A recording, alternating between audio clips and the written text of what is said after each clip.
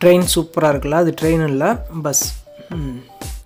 சரி இங்கேருந்து கிளம்பலான்னு பார்த்தா டுக்காட்டி பஞ்சர் ஆயிடுச்சு நான் எதிர்பார்க்கவே இல்லை இந்த ட்ரிப்பில் ஆனால் டயர் ரொம்பவே மட்டமாக இருக்குது அந்த க்ரீன் கூட தே தெரியுது பார்த்தீங்களா? டயர் தேஞ்சு அது ஒரு சிக்னல் மாதிரி டயரை மாத்திரா அப்படின்ற மாதிரி.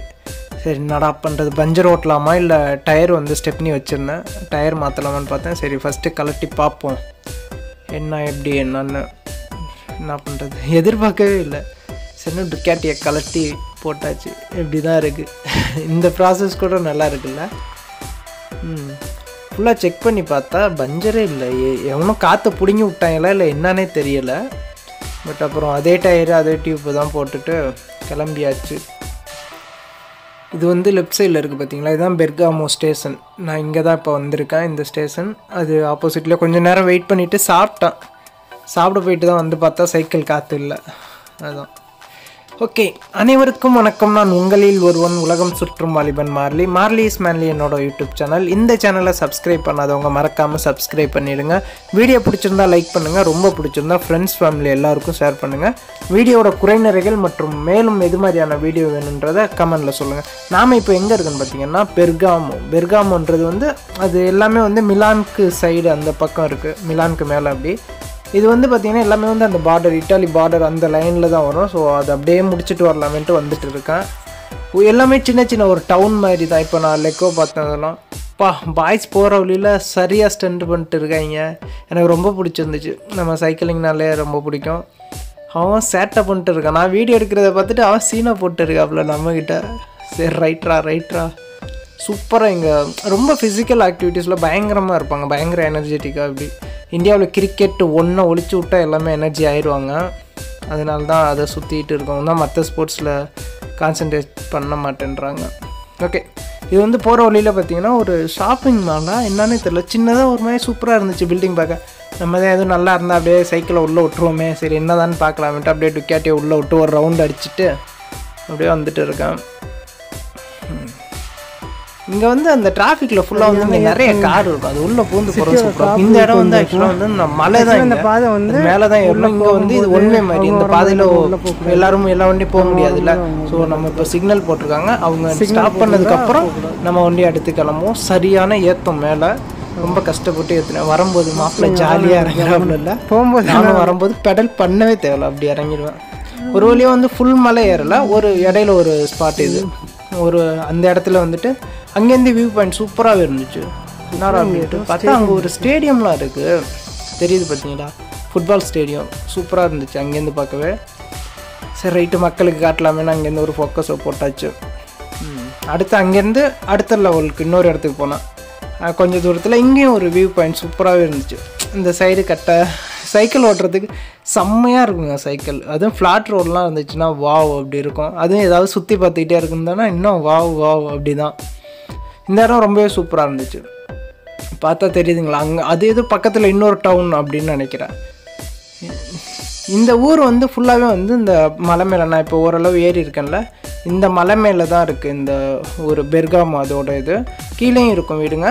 மேலே இது ஒரு சின்ன கிராமம் மாதிரி இங்கே இருக்கும். அதுக்கு தான் நம்ம போயிட்டு இருக்கோம். இப்போ மொத்த சிட்டியோட டாப் பார்க்க சரியான ஏற்றம் இந்த இடம்லாம். முடியலடா சாமின்ற மாதிரி இருந்துச்சு. ஓகே இங்கே அடுத்து இன்னொரு இடம் அந்த டனலில் இந்த மியூசியம் இது மாதிரியான இடம் இதுவும் உள்ளே வந்து அந்த மலை மேலேயுமே வந்து நிறையா வீடு இருக்கும். ஒவ்வொன்றுமே இது மாதிரி தான் இருக்கும். அந்த வில்லேஜ் மாதிரி தான் இது. அங்கே தான் உள்ளே போய் அங்கங்கே முடிஞ்ச அளவு சந்து பொந்தெல்லாம் உள்ளே பூந்து சுற்றியாச்சு வர வழியில் சூப்பராக இருந்துச்சு. இது வந்து அது என்ன ப பட்டாம்பூச்சி. நம்ம பாப்பாத்தின்னு சொல்லுவோம் எங்கள் ஏரியாவில் அது சூப்பராக அது டிசைன் பண்ணியிருந்தாங்க அவங்கள. அது கொஞ்சம் நேரம் பார்த்துட்டு ஃபோட்டோ எடுத்துகிட்டு அங்கேருந்து அடுத்து பறக்கிறேன். மேலே ரொம்ப தூரம் போயிட்டு ஒரு வழியாக வந்து இந்த வில்லேஜோட டாப்புக்கு வந்தாச்சு. அப்பாடா அப்படின்ற மாதிரி இருந்துச்சு.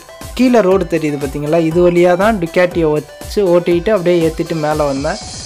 வர்ற வழியில் வந்து இடையில ஒரு லிஃப்ட் இருக்கும் இந்த மேலே போகிறதுக்கு அதை பார்த்து போகலாமா அப்படின்னு பார்த்தேன் ஸ்டார்டிங்கில் அப்புறம் என்னடா நீ சைக்கிளிஸ்ட்டு அப்போ சைக்கிள் படல் பண்ண அப்படின்னு முடிவு எடுத்துகிட்டு என்னையே நான் சேலஞ்ச் பண்ணிட்டு ஃபுல் மலையையும் சைக்கிளில் ஏற்றியாச்சு அப்புறம் அங்கே ஒரு நண்பரை பிடிச்சி நமக்கு ஃபோட்டோ எடுக்க ஆள் வேணும்ல அவரை பிடிச்சி கொஞ்சம் சேட்டைகள் பண்ணிவிட்டு ஃபோட்டோ எடுத்தாச்சு.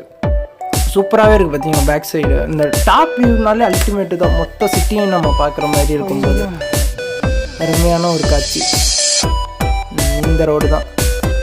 சிங்கிள் ரோடு நல்லா இருந்துச்சு ஏற்ற ஏற்ற ஏன்னா ரொம்ப கஷ்டமானது தெரியுங்களா? அந்த கீழே அந்த பில்டிங்லாம் இருக்குல்ல அங்கேருந்து தான் நான் இப்போ ஸ்டார்ட் பண்ணேன். அங்கேருந்து வந்து இப்போ இவ்வளோ ஹைட்டு மேலே ஏற்றிருக்கேன்னா பார்த்துக்கோங்க. எப்படி இருக்கும்? இது என்னோடய காம்பஸ் மாதிரி இருக்குது காம்பஸ் தான். ஆனால் என்ன சொல்கிறாங்கன்னு தெரியல. மேக்ஸ் டிபார்ட்மெண்ட் தான் படித்தேன். இருந்தாலும் தெரியல. இது என்ன ஃபிசிக்ஸா மேக்ஸில் எல்லாம்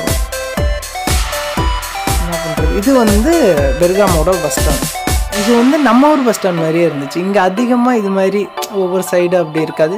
இந்த ரெட்டு வித் ஒயிட் இருக்குங்கள்ல இது நம்ம ஊரில் நான் பார்த்த மாதிரி எனக்கு தெரியலை. இது வந்து போட்டால் நோ என்ட்ரி அப்படி. சரின்னு நைட்டு ஃபுல்லாக அங்கே ஈவினிங்கே முடிச்சுட்டு நம்ம ட்ரெயின் ஏறியாச்சு. நம்ம டுக்கேட் எங்கே இருக்காப்புல அடுத்து வேறு லெவலில் ஒரு இடத்துக்கு போயிட்டு இருக்கேன். செம்மையான இடம். நான் வென்னீஸ் போகிறேன் அடுத்து இங்கேருந்து வெனிஸ் நிறைய பேர் கேள்விப்பட்டிருப்பீங்க. அல்டிமேட்டான ஒரு இடம் தான் அது. என்ன டிக்கெட் என்ன ஆகி போச்சுன்னா நான் சார்ஜ் போடலாமே கொஞ்சம் நேரம் ட்ரெயின்லேயே உட்காந்துருந்தேன் ட்ரெயினை க்ளோஸ் பண்ணிட்டானுங்க.